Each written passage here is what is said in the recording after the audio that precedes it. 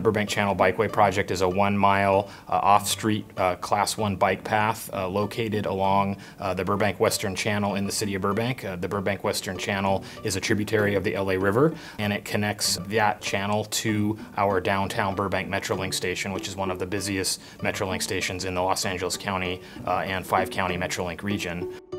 It's not just a bikeway, it's also a pedestrian path, and this is a share the road situation.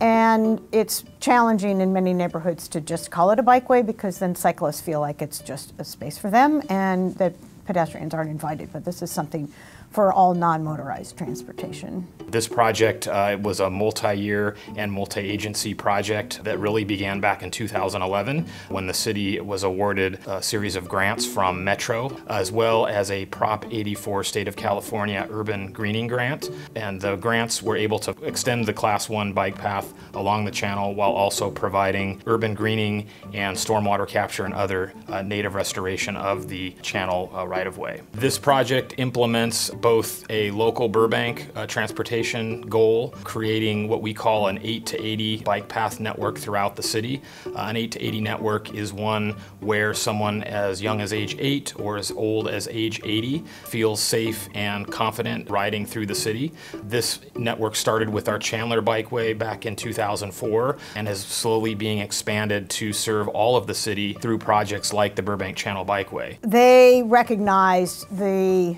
safety measures that would be instituted here by not having a mixing of cyclists and pedestrians with vehicles, and that they're creating good access points to the bikeway. Sometimes we build these paths and then you can't get to them from the adjacent city streets. They're thinking about the whole connected network of how you get to and from the facility to the communities around it. This bikeway also serves a broader purpose to build out the regional off-street bike path network. This bike path closes one of four remaining gaps in a regional system that will allow riders to travel all the way from Chatsworth in the northwest San Fernando Valley through the city of Burbank, south to downtown Los Angeles, and ultimately uh, to Long Beach using the LA River system, the Burbank Channel system, and Metro's Orange Line bike path.